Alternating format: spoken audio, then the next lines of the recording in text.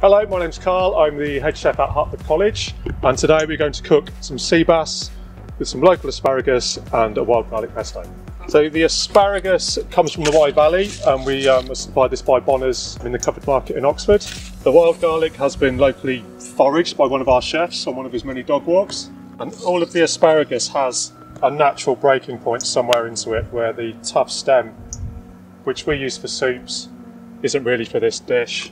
And then you just take a peeler, and I like to go kind of a thumb, I use my thumb about an inch up and just peel down and go down to have a nice kind of presentation to that. And it just starts to show off the colours of the asparagus, which I think is really important. I'm just going to drop that into the water and that's going to take about two minutes to cook. Got some rather nice oil here to show you as well. Um, Cotswold Gold, so that's from the Cotswolds, it's using rapeseed oil. You don't want too much oil in the pan, you just want a nice film, and it's also important just to get some on the skin. So I'm looking for a crispy skin on the sea bass. Okay, so that just goes into, into there.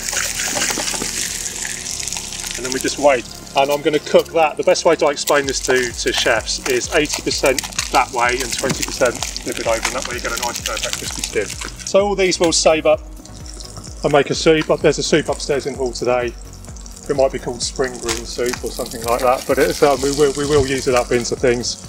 Um, and another one, I mean, we save like we use a lot of beetroot as well downstairs in the kitchen. So any trimmings from that, we make um, like ketchups and pickles and chutneys. So we we are doing a lot of work into reducing our food waste. Right, you can start, if you look at that sea bass now, how that's changing, you can see where the white is and it's starting to come up, which means it's cooking from this way. At the same time, we're getting a nice crispy skin, which is nice.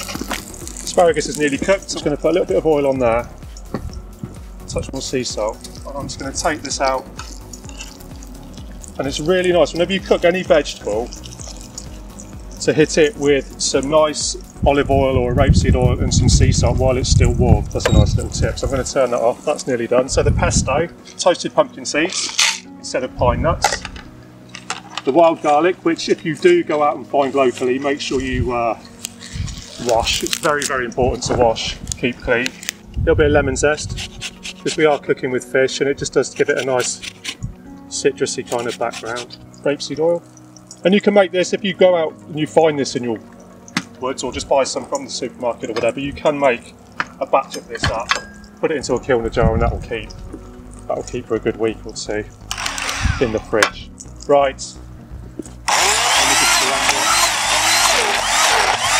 You'll start to see how vibrant the, uh,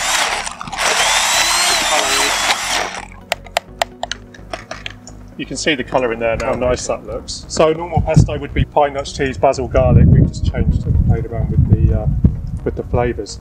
So you see the fish now, non-stick pan, which is really important. You can see what I'm, when I'm talking about the 80%, 20%. For me now, that is ready to cook over, uh, cook over, flip over. So, and how nice crispy skin we've got there. So that's cooked now.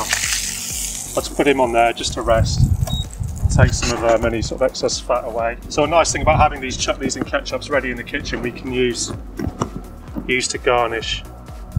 And it just gives, you can see where I'm coming from with the colour, the purple and the green is going to look really, stand up on a plate. I'm hoping these aren't going to blow away. It's not too many because you know we tried them and they're quite peppery.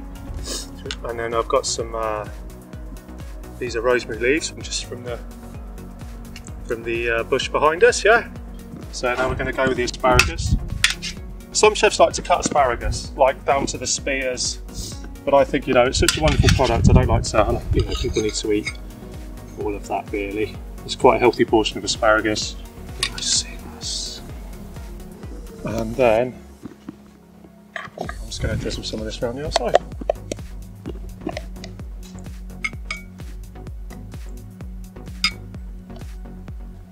Local asparagus, foraged wild garlic, zero waste beetroot ketchup, and asparagus.